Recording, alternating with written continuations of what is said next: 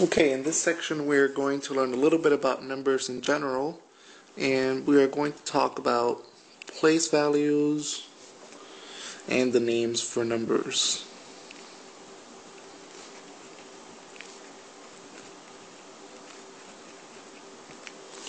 Before we get into specific names for numbers and place values, let me just write out a set of numbers. So I'm going to write out the set of numbers here.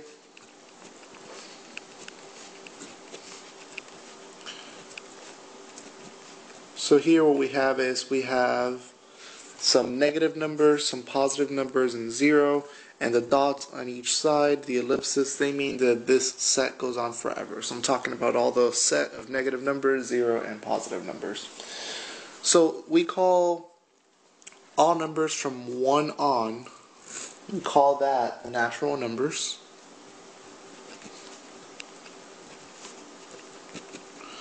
From 0 on, we call those the whole numbers.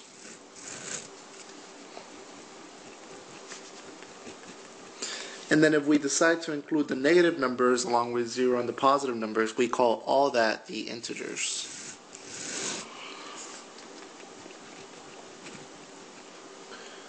So we're going to spend a little bit of time um, talking about the whole and the natural numbers in this chapter. The next chapter will go into integers. So we're just going to be talking about positive numbers and zero right now. Okay, so one of the things we want to talk about when we have a whole number, say like the number 48,337,000 each one of the digits in this number has a place value. Each one of the digits has a name for its place value. So we start with the number all the way on the right. That number, that digit is in the ones place. The next number is in the tens place. The next number is in the hundredth place. And you may remember this from high school um, or elementary school or middle school. So then if you keep going, the pattern is that from the ones place to the tens place, we're multiplying by 10. From the tens place to the hundreds place, we're multiplying by 10 again. So if we multiply 100 by 10, we're going to get the thousands place. And then if we multiply 1000 by 10, we're going to get the 10 thousands place.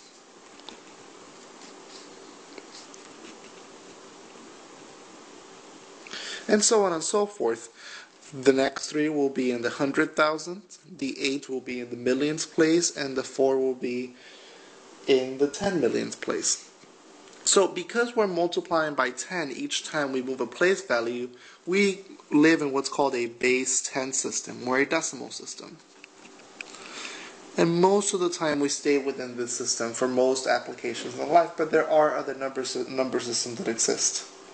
So if I were to give you any number, say for example, the number 396,418, and I asked you to give me the place value of the number, the digit 6, that digit 6 would be in the thousands place value. See, I gave you the following numbers. I gave you the number 38,760,005. I also gave you the number 67,890 and I gave you the number 481,922 and I wanted you to find the place value of the digit 8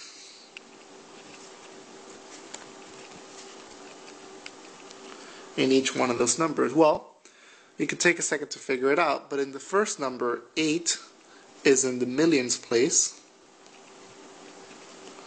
In the second number, it is in the hundreds place. And in the third number, it is in the ten thousands place.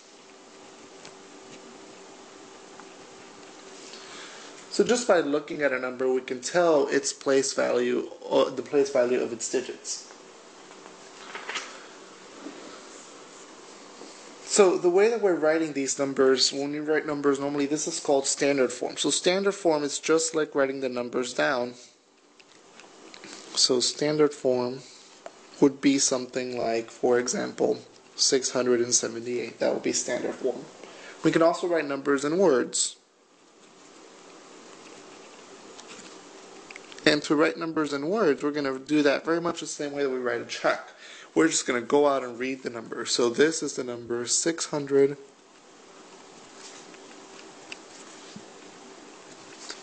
And 78. And everyone's pretty familiar with how to do that. Um, the third way that we know how to write numbers is we write numbers in expanded form. This is what may be a little bit different than what you're used to.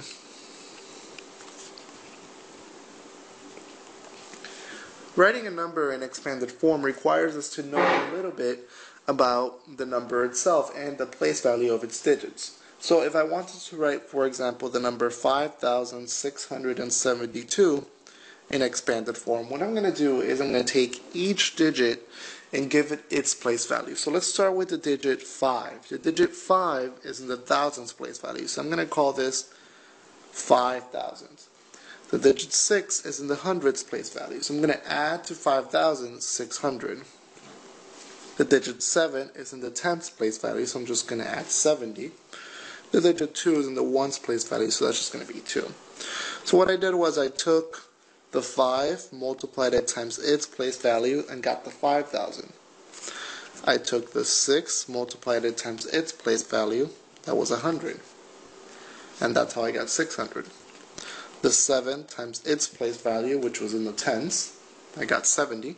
And finally, the 2 times its place value, which is the ones.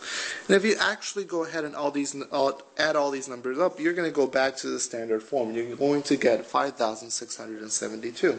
So let's just try one out really quick. Let's say I wanted to write the number 4,026,031 in expanded form. Well, this would be 4 millions plus.